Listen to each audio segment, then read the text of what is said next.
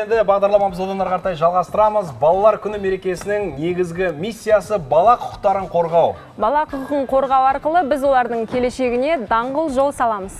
Ә, бүгінгі күні елімізде бала құқықтарына қатысты қандай шаралар қолға алынып жатқанын білмек болып студияға арнайы қонақ шақырған едік. Студиямыздың бүгінгі қонағы қазақстан республикасының бала құқықтары жөніндегі уәкілі зағипа яхиязы бәлиева ханым. Ендеше қош келдіңіз. Саламатсыздар ма біз раушан екеуміз қонағымыздың жанына жақында қош келдіңіз қайырлы таң зағипа ханым бүгін балалардың мерекесі бұл мерекенің мереке. сізге де тікелей қатысы бар секілді ортаға жақынырақ келсеңіз сондықтан мереке құтты болсын иә бұл мереке сіз үшін қаншалықты маңызды өте маңызды себебі елбасы маған үлкен сенім білдіріп мені балалардың өкілі тағайындап енді бүкіл балаларға мен жауаптымын жалпы енді балаларды қорғау күні деп жатырмыз ғой. Бүгінгі таңда балаларды қорғау қан- қандай деңгейде? Балалар көбінесе кімнен зәбір көріп жатыр? Біздің мемлекетімізде балалардың қорғау мәселесі өте жоғары деңгейде. Біз бірінші ел қатарына қосылып балаларға арналған конвенцияға қосылдық ратификациядан өткіздік. Балаларға арналған заң қабылдадық. Тағы да міне жақында бір екі күн бұрын біздің әріптестеріміз бірнеше заңның жобасын дайындап балаларға арналған оны қабылдадық. Сондықтан бүгінгі күнде бес жарым миллион балаларымыз бар. Олардың қорғау мәселесі өте жоғары деңгейде. Зағипа ханым енді соңғы күндері осы әлеуметтік желіде қатты талқыланып жатқан бір тақырып бар. Ол сіздің пікіріңізге қатысты. Ол 12 жасқа толмаған балаларды үйде жалғыз қалдыруға болмайды деген Ол, біріншіде иә, мәселе көтердіңіз. Бұған жалпы не түрткі болды?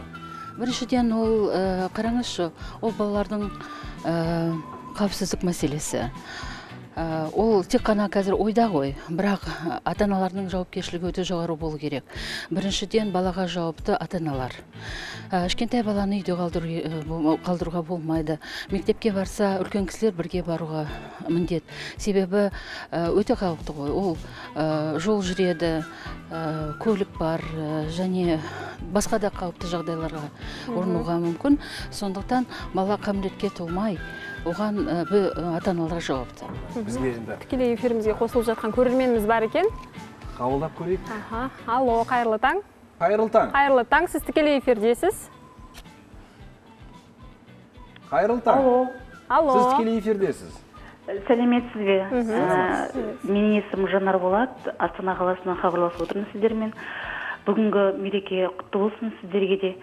Менің бүгінгі қоятын сұрағым, Зағипа Балиева ханымға да менің екі сұрағым бар. Бірінші сұрағым, мен өзім үш баланың анасымын. Ә, жер үйде тұрамын. Шындығына келгенде балаларымды ә, забордың сыртына шығаруға қорқамын. өйткені қазір қауіп қатер өте көп оны мен ғана емес менің балаларым да біледі шындығына келгенде балаларымның өзі қорқады сыртқа шығып ойнауға өзіміздің қарауымызсыз шығармаймыз неге бізде соншалықты мынау ашық аспан астында тәуелсіз елде неге біздің балаларымыз қорқып өмір сүреді?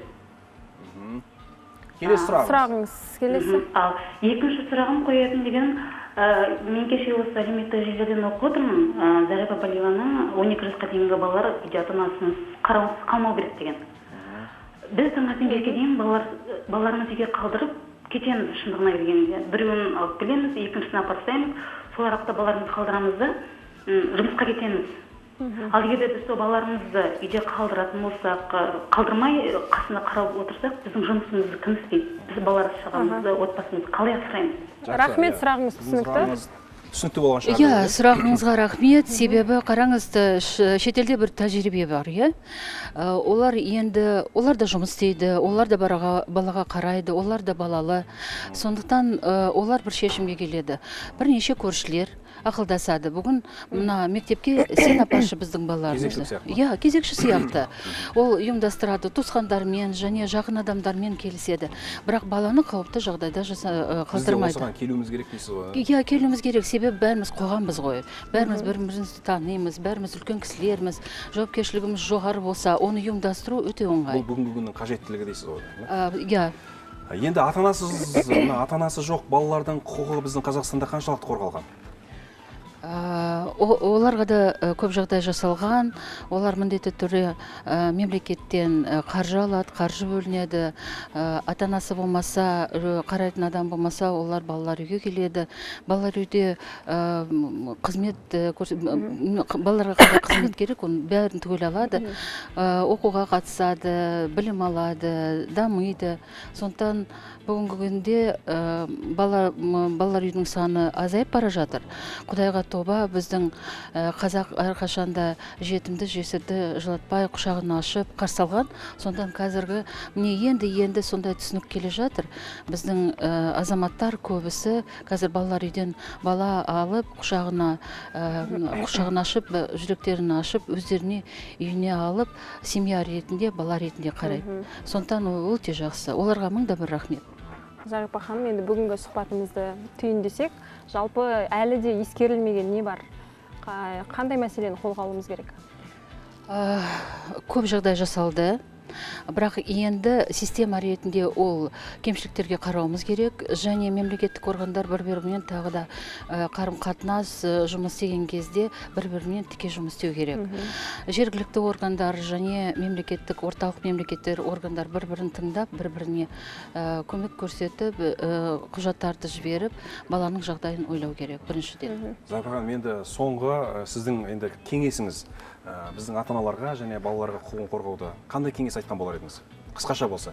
Иә бір сөз бергеніңізге рахмет. Ертең үлкен күн ертең халықаралық балалардың құқығын қорғау күні. Сондықтан ә, балаларымызды шын жүректен ә, құттықтаймын. Ата аналарға айтатын бір тілек балаларды жақсы көру керек. Жақсы көру керек. Бәрекелді. Бала біздің бүгінгі бүгінгі балалар ол ұлы даланың мәңгілік елдің ұрпақтары. Құтты болсын. рахмет. Зағипа ханым бүгін мерекелік бағдарламаға келгеніңізге көп көп алғыс айтамыз өзіңізге